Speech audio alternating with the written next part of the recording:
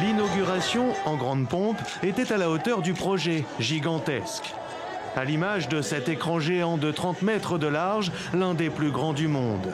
Devant les ministres, les chefs d'entreprise, les promoteurs culturels et les visiteurs, le tout nouveau parc des expositions d'Abidjan a dévoilé ses atouts trois ans après le début des travaux. De l'extérieur, il est inévitable avec son air de flotter comme un drap ou une soucoupe volante, c'est selon. À l'intérieur, ses dimensions le rendent modulable, à la grande satisfaction des artistes qui y exposent pour l'occasion. Nous avons près de 7000 mètres carrés avec une hauteur sur plafond de 12 mètres environ.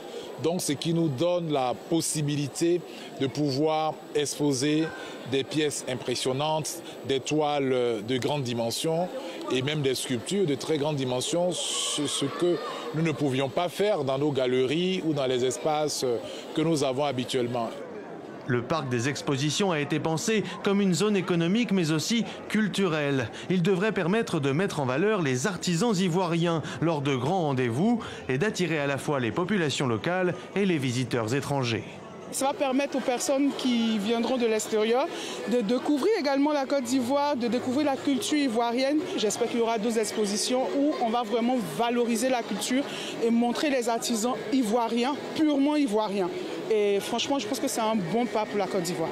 Situé à proximité de l'aéroport international Félix Houphouët-Boigny, ce site est un élément central du projet Éco-Aérocité.